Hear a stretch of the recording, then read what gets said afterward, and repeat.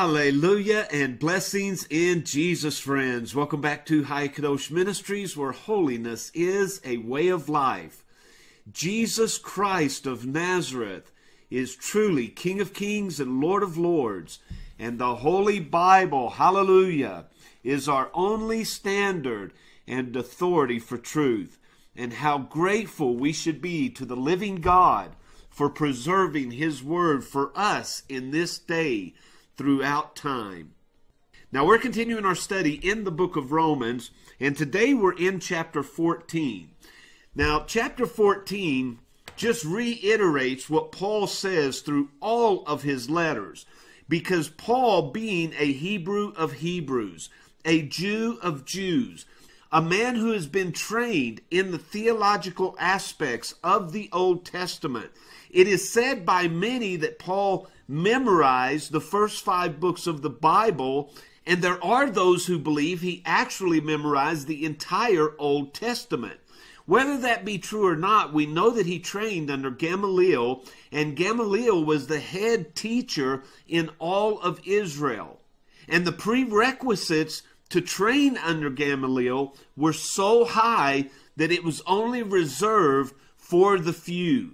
And yet, Paul is one of those few. And so Paul was very educated when it came to the biblical teachings, the Old Testament teaching of the early Jewish people.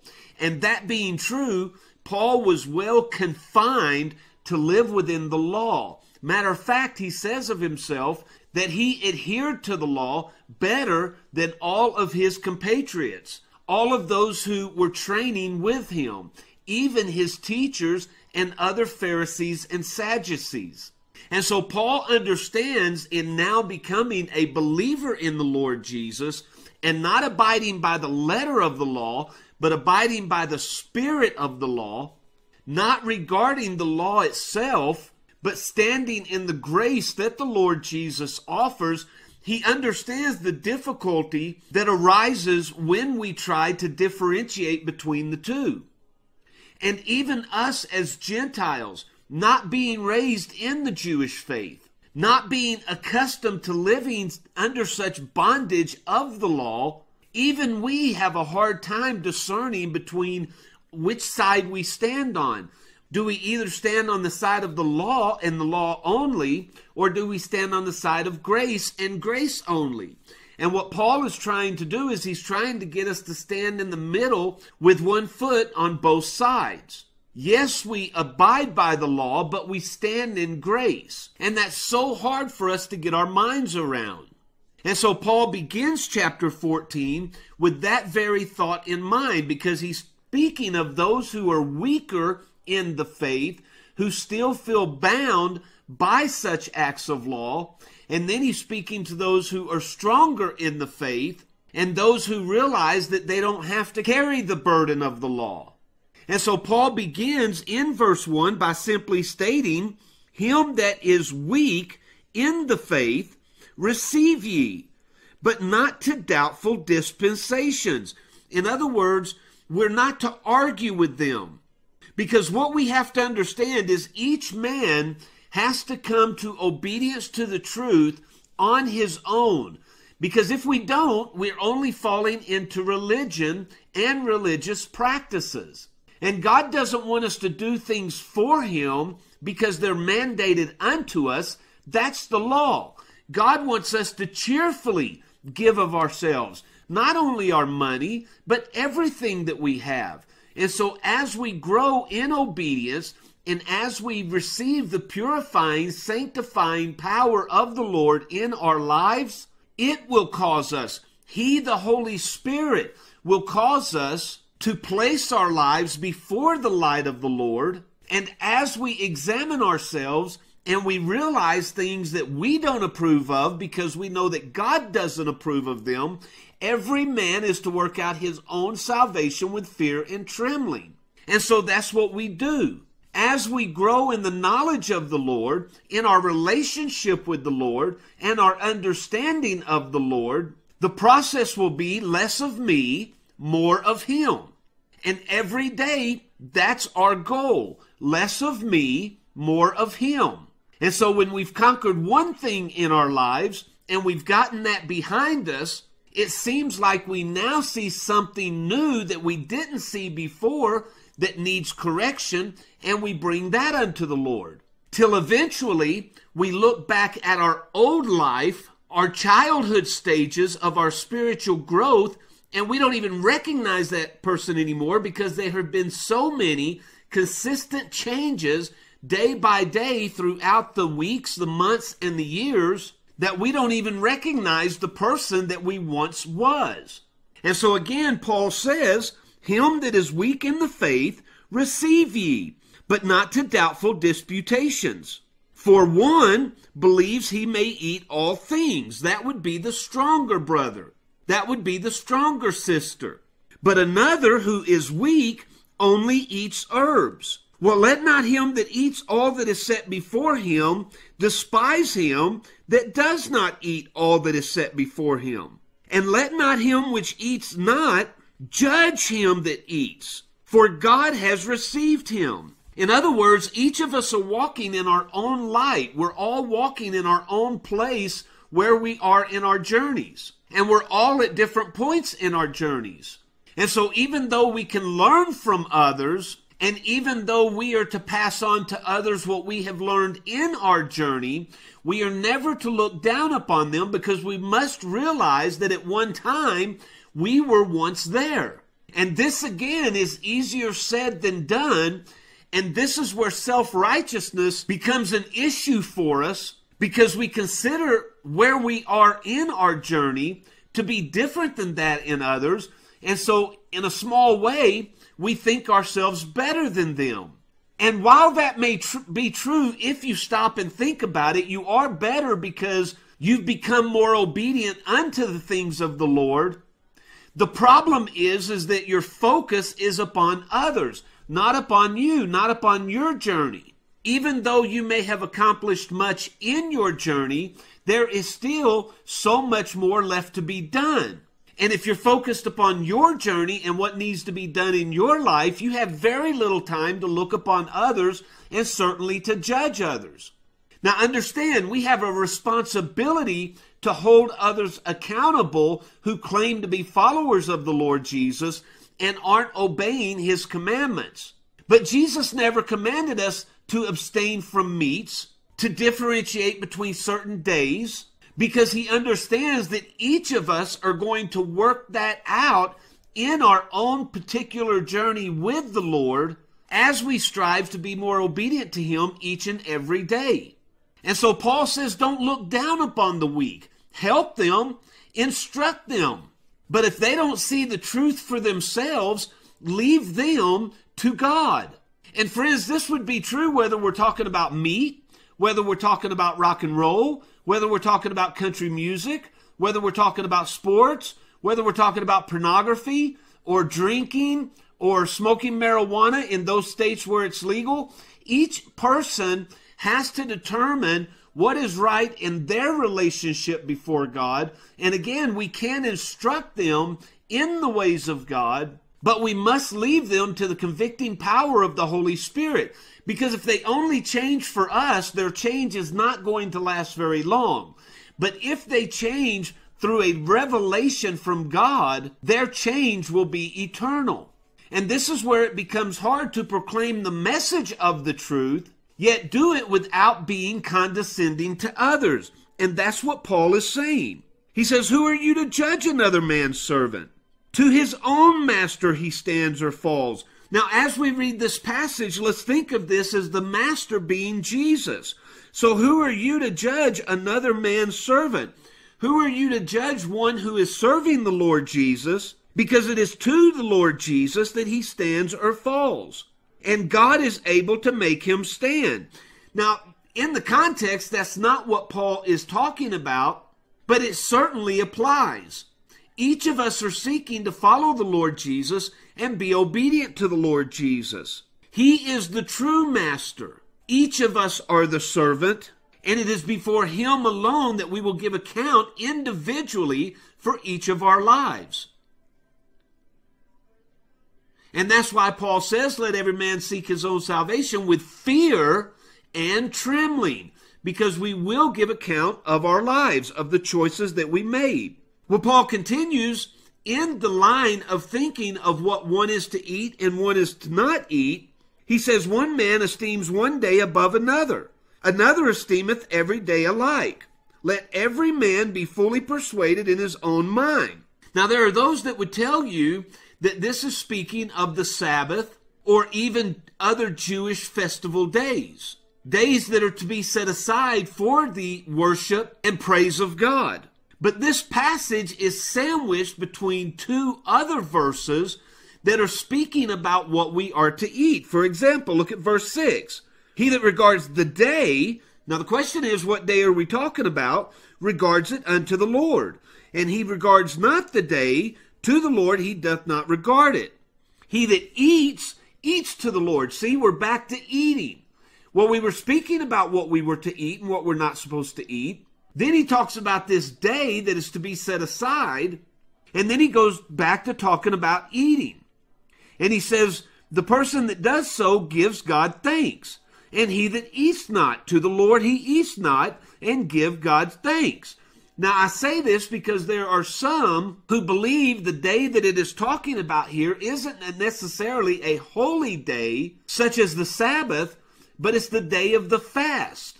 But because the text isn't entirely clear, it's open to speculation. But in its context, it would appear to have something to do with eating. Because as I said, it's sandwiched between these two verses that are speaking about eating. So if the writer is writing within one train of thought, it would seem to have something to do with eating. Well, Paul continues in verse 8 and he says, Whether we live or whether we die, we live unto the Lord, we die unto the Lord. For we are the Lord's. So why do you judge your brother? Why do you become self righteous? Why do you look down upon others? Why do you speak condescending to others? We will all stand before the judgment seat of Christ. Every knee will bow, every tongue will confess individually. Each will give account for his own life. And so, if we are encouraging others on what to eat, what not to eat, which we shouldn't do because the Bible gives no prohibition, or let me say the New Testament gives no prohibition.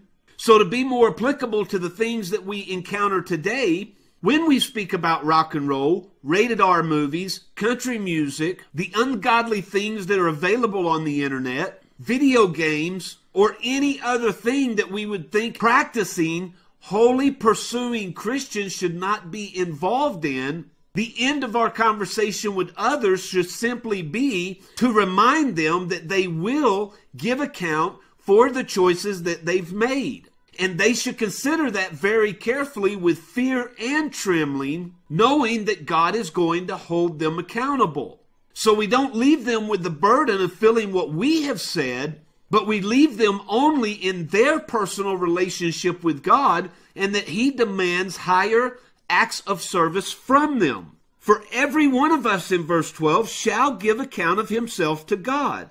So let us not therefore judge one another any more. But judge this rather, that no man put a stumbling block or an occasion to fall in his brother's way. So if you feel like it's okay to do something, but another brother feels like that is wrong, you shouldn't participate in whatever activity that is just to flaunt your freedom. For you are causing him pain and trouble, and if you truly loved him, you wouldn't treat him in such a manner. Now, Paul says in verse 14, I know and I am persuaded by the Lord Jesus that there is nothing unclean of itself. But to the one that esteems anything to be unclean, to him it is unclean. Why? Because that's where he is in his journey. That's where he is in his understanding of the Lord and what the Lord requires. And so for him, God has ruled upon this matter, and for you to entice him to think otherwise would be for him to be obeying man rather than God. And so he says, if your brother be grieved with your meat, then you are not walking in love before him, because you are the one that is bringing that grief upon him.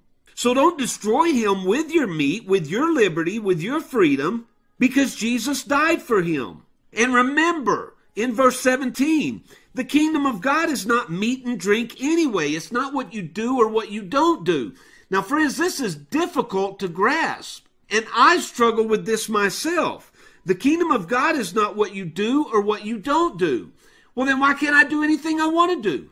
Why can't I just live life to the fullest and suck it dry for everything that it has to offer? Well, simply put, because the Lord has warned us against such lifestyles. But Paul says the kingdom of God is not meat and drink. That isn't to be the priority. The priority isn't what we do and what we don't do. The priority is to bring pleasure to the Lord Jesus. That being the priority, falling under that priority would be the things that we do and don't do. But if the priority is the things we do and don't do, then Jesus is left as second or third or fourth. And that's what Paul is trying to indicate here. He says the kingdom of God is righteousness. Righteousness is right standing before God. It's obedience to God. So it is important, but only in its right priority. The kingdom of God is peace. The kingdom of God is joy in the Holy Ghost. If you wake up each morning and you feel a burden in feeling like you are required to do and don't do certain things, there's no joy in that. Your obedience should bring you much joy in the Lord. So let us, in verse 19, follow after the things which make for peace, which make for righteousness, which make for joy in the Holy Ghost, and things wherewith one may edify another, where we build one another up. We encourage one another to be the best possible servants of the Lord Jesus that we can possibly be. And we do this in how we communicate the message. We're encouraging them, not speaking condescendingly to them. And there is a fine line that separates those two. For remember, all things are pure. Now, notice what Paul says in verse 21 because it almost seems like he's contradicting himself. He says, It's good neither to eat flesh nor to drink wine but he's just said all things are pure. All things are allowed, but not all things are edifying in our walk with God. And I think this is where we have a hard time because it's like, look, make up your mind. Either I can or I can't. Either I do or I don't. But I don't know how to be both. Especially early on in our Christian journeys because we just want to be told what to do or what not to do and we don't want to be left to figure it out for ourselves. But Paul is saying, I want you to figure it out for yourself. Because all things are lawful, but not all things are edifying. And that's where each of us have to go in our relationship before our God and ask, is this edifying in my relationship with you? Is this strengthening my relationship with you? Or is it weakening my relationship with you? Is it harming my relationship with you? Is it destructive to my relationship with you?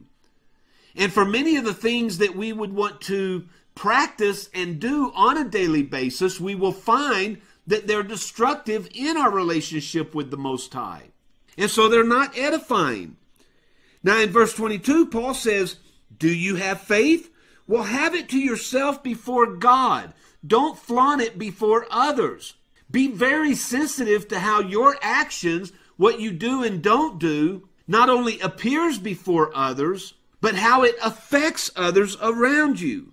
For happy is the man that does not condemn himself in the thing which he allowed. If you allow yourself to do something, but then you're constantly beating yourself up, your conscience is constantly attacking you, well, you're not going to be a happy man. Why? Because whatsoever is not of faith is sin. And so Paul says, look, if you can honestly say within your heart that there is no inner voice telling you to not do or to do, then for you there is nothing to fear before God. But if there is a quiet inner voice that is speaking to you that you should stop doing whatever that is or start doing whatever that is, then if you don't listen to that inner voice, you are in disobedience and rebellion unto God. Because that is God speaking to you through your conscience, and therefore, whatever it is you're doing or you're not doing is not of faith. And because it is not of faith, it is sin. And where sin is in your life, there is much cause for fear and trembling in your relationship with the Lord, knowing that one day you will stand before the Lord, you will give account for your life, and where that inner voice was so quiet in speaking to you at one time, now it will speak very loudly and clearly as it reveals the truth of your disobedience before the Lord Jesus as you stand and give account for your life. Well, friends, I know that that is a whole lot to think about today from this chapter. And I hope that I'm not leaving you more confused than when you began this study. And I, like you, wrestle with this idea that all things are permissible, but not all things are beneficial. And I think in matters such as these, we have to refer back to the book of Proverbs when it says, Do not lean to your own understanding, but in all your ways acknowledge God. Or we could say, let everything you do, everything you say, everything you think bring glory to God and honor to Jesus, his son. And if it does not, then it should not be a product of our lives. Well, I love you, friends. I'm so grateful again. I'm honored and blessed that you're with us this morning. It thrills my heart that you are taking time out of your day to enjoy the Word of God, be instructed through the Word of God, be corrected through the Word of God, so that you and I, each and every day, can become a little bit more like Jesus and a little bit less than ourselves. That we can learn what it is He wants of us, He desires of us, and He truly created us to be. Oh, friends, I pray that the Holy Spirit will speak truth into your life today. And what I am unable to communicate through the frailty of these lips, may He enlighten your soul and bring you to the truth of His Word, so that when you stand before Him on that great day, you can stand faithful and confident, knowing that you have done everything in your power to be obedient as you possibly can. Now, as He wills, and until next time, friends, I truly love you. I'll see you on the next video.